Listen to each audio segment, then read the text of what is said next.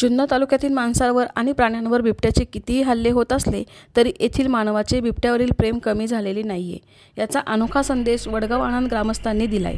गावात झालेल्या बिबट्याच्या अपघाती मृत्यूनंतर गावकऱ्यांनी बिबट्याला अनोखी श्रद्धांजली वाहिली आहे गावाच्या सूचना फलकावर एरवी गावातील कोणी व्यक्ती मृत झाली तर त्याला श्रद्धांजली वाहण्याची प्रथा बहुतेक गावात आहे.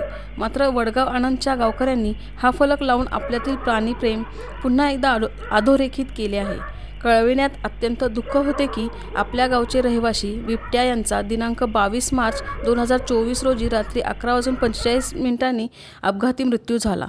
तरी ईश्वर त्यांच्या आत्म्यास चिरशांती देवो. शोकाकुल समस्त ग्रामस्थ वडगाव आनंद. भावपूर्ण श्रद्धांजली ओम शांती. अशा आशयाचा मजकूर या फलकावर आहे.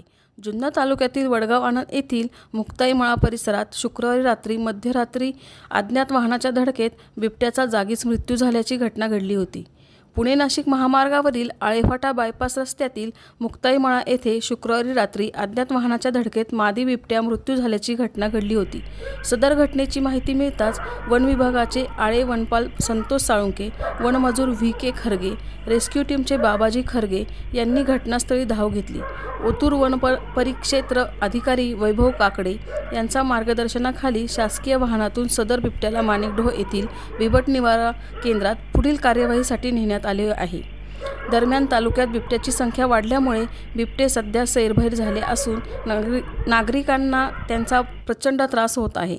पाणी तसेच खाद्याच्या शोधात हे बिबटे रात्री अपरात्री फिरत असतात. रस्ता क्रॉस करताना अज्ञात वाहकां वाहनांची धडक असून बिबट्याचा मृत्यू झाला आहे.